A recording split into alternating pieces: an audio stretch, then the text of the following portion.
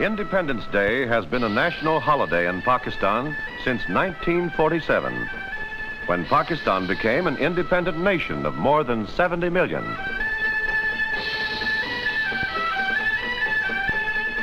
Pakistan is a country split in two, West Pakistan and East Pakistan, separated by a thousand miles of another nation, the Republic of India.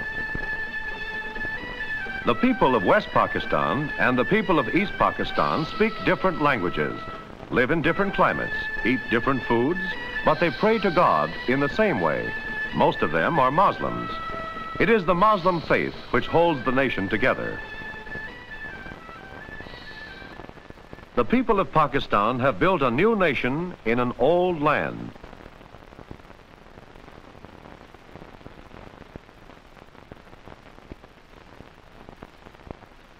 Most of them do their work in simple ways, using simple tools, or no tools at all, whether craftsmen, housewives, or farmers. Many people must make a living with their bare hands. Let us first visit the people of East Pakistan. They live in a wet and rainy land, a land of rivers and canals, in the delta of two of the world's great rivers, the Ganges and the Brahmaputra. The rivers and canals are alive with traffic. They are important highways in East Pakistan.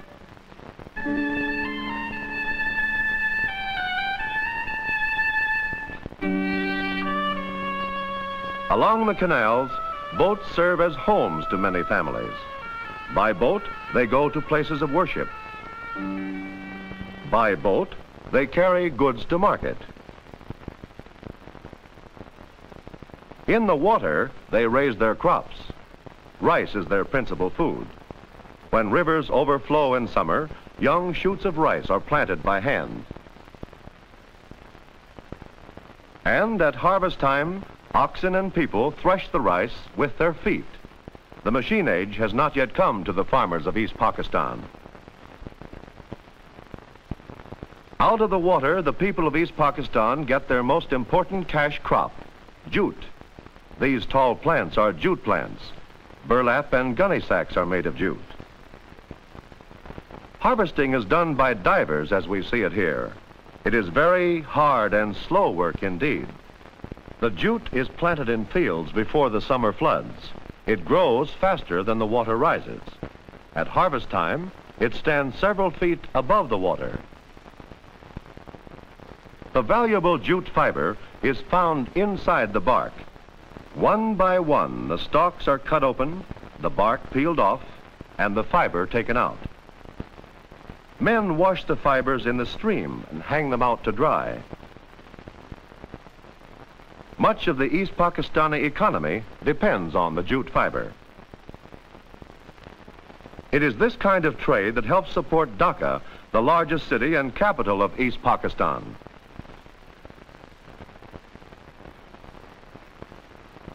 A thousand miles west from rainy, wet East Pakistan lies West Pakistan. One part of West Pakistan is called the Punjab. This means the land of five rivers, rivers which give life to this hot and dry region. In order to grow crops, people must take the water from the rivers or from wells. In some places, and at some times, the farmers use water wheels to raise the water to higher levels. Here again, all the irrigation work and the farm work is done in a simple way by man and beast.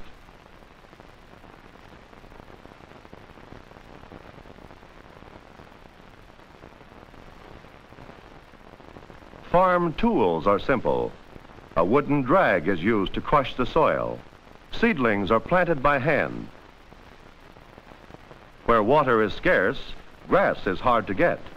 It is cut by hand and carried to the feeding places in the villages. Once a week, or more often, farmers go to trading villages to buy and sell. There they buy what they don't produce themselves. Small craftsmen work in the villages, like this basket weaver. Here works the village shoemaker. And the blacksmith who makes simple tools and shoes the farmer's horses.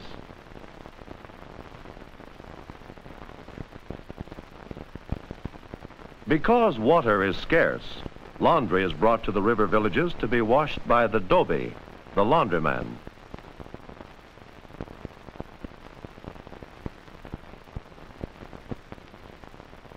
People may travel from the villages to the city by traditional ox carts. Some of the carts have wooden wheels, others automobile tires. In some places, the people may travel by bus and sometimes by train, though this is less common. The most important city of this region is called Lahore, an ancient trading center once surrounded by thick walls, guarded by mighty gates. Today, the city has grown beyond the ancient gates.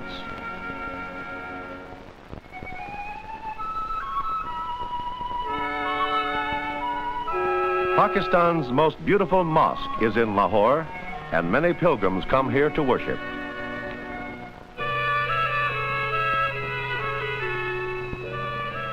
South and west of the Punjab lies an even drier region of West Pakistan, crossed by the great Indus River, which gave the whole subcontinent its name. The capital of Pakistan, Karachi, lies in this region. This desert area is the land of camels. Camel caravans travel for many miles across the desert to the big marketplaces. They may stop at small oases like this one for food and water. Camel drivers usually eat in the open next to their animals.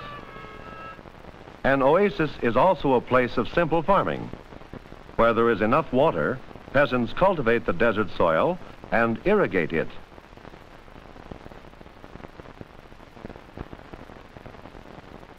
Some farmers in the oasis raise livestock for the city market.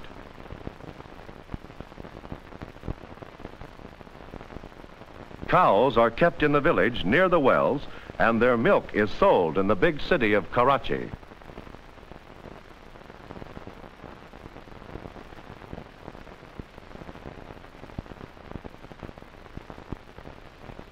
People often travel by boat down the Indus River or by bus across the desert in search of work in the capital.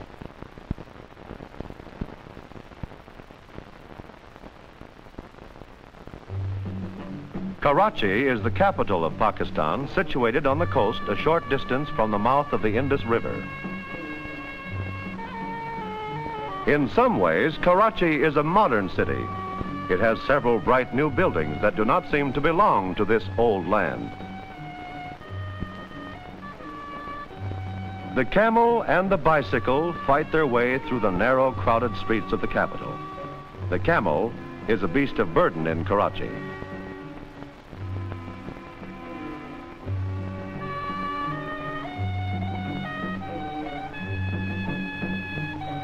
In this desert region, wood is scarce.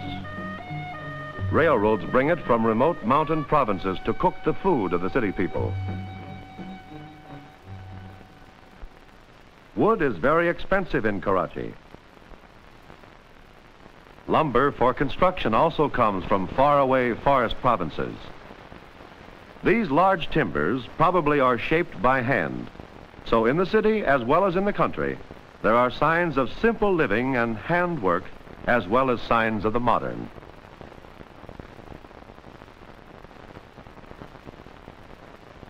These are bales of cotton. Cotton is the most important cash crop of West Pakistan. It grows in irrigated fields of the Punjab and along the Indus River.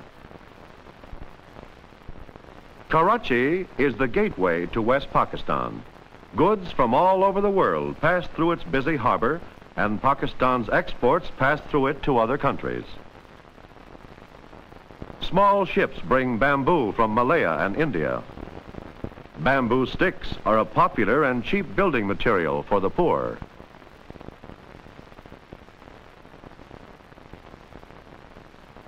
Bananas also may come from India.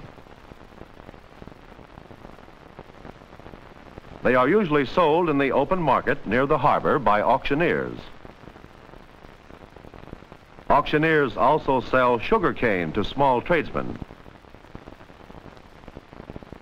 Merchants bid for each bundle of cane, and the highest bidder gets it.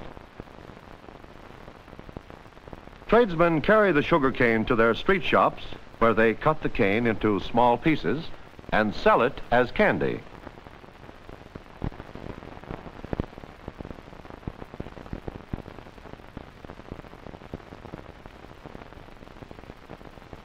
The marketplace is the center of life in the city. Oranges are sold in the marketplace. And so are chickens and pigeons for food. A street vendor may carry his whole store around his neck.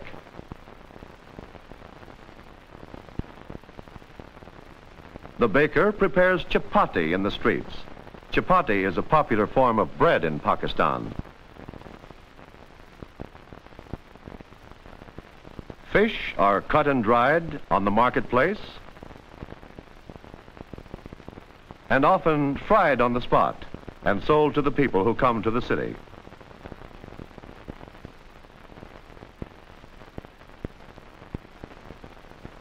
In the city, as well as in the village, work is often done by simple means. Everywhere, people do much of the work by hand. But Pakistan is changing.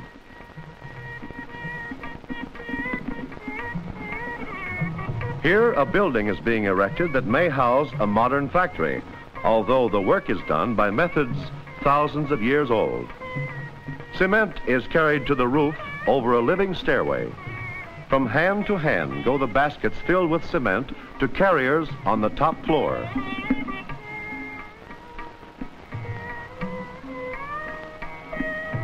The buildings in the background have all been built. In front of them, the workers and the jobless who cannot afford to live in apartments.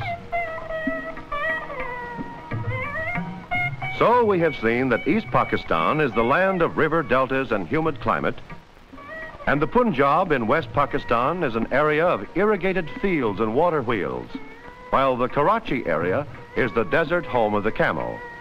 And all of these regions are tied into one country by the faith of Mohammed.